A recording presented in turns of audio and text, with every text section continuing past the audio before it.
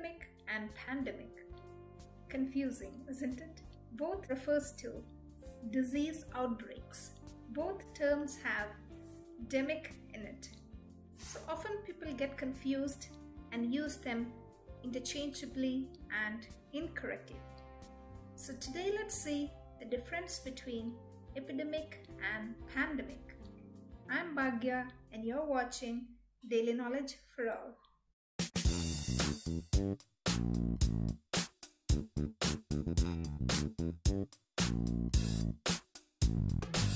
The term epidemic has two parts, epi and demos. Epi means upon and demos means people. So epidemic is the spread of a disease to a large number of people. Actually, it's a rapid spread of an infectious disease to a large number of people in a given population in a short period of time. The disease occurs in a large population within the community or population or a region. But when the disease crosses the borders and affects people worldwide, it's called a pandemic. Pan means all and demos means people. So pandemic, as the name suggests, is a disease spreading worldwide.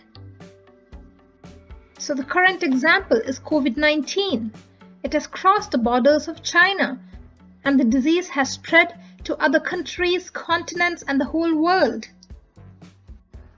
Smallpox and tuberculosis were also examples of pandemics.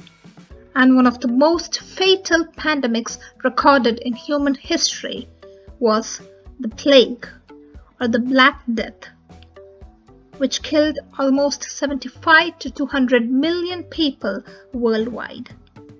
So basically, epidemic affects a smaller region or population, whereas a pandemic affects a very large population. So an epidemic is easier to contain, control and manage than a pandemic. So that's it friends. The basic difference between epidemic and pandemic lies in the scale of infection.